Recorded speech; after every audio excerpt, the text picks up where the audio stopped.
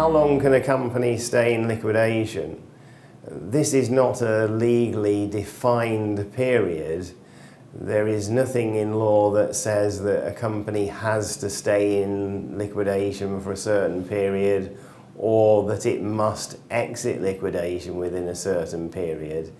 It is within the discretion of the liquidator to decide how long is required to deal with the affairs of the company, to realise its assets, to pay its creditors and to comply with his statutory duties to report on the conduct of the directors and deal with all other statutory matters.